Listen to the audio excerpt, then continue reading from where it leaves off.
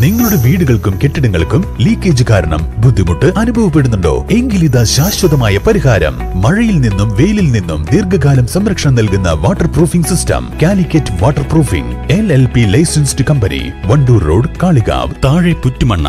സംസ്ഥാനത്തെ തദ്ദേശ സ്വയംഭരണ സ്ഥാപനങ്ങളിലെ ഉപതെരഞ്ഞെടുപ്പുകൾ പ്രഖ്യാപിച്ച് സംസ്ഥാന തെരഞ്ഞെടുപ്പ് കമ്മീഷൻ പന്ത്രണ്ട് ജില്ലകളിലായി ഇരുപത്തിയെട്ട് തദ്ദേശ സ്ഥാപനങ്ങളിലെ ഇരുപത്തിയെട്ട് വാർഡുകളിലാണ് ഉപതെരഞ്ഞെടുപ്പ് പ്രഖ്യാപിച്ചത്. ഫെബ്രുവരി ഇരുപത്തിയെട്ടിന് പ്രഖ്യാപിച്ച ഉപതെരഞ്ഞെടുപ്പിൽ കരുളായി പഞ്ചായത്തിലെ പന്ത്രണ്ടാം വാർഡ് ചക്കിട്ടാമലയും ഉൾപ്പെടും.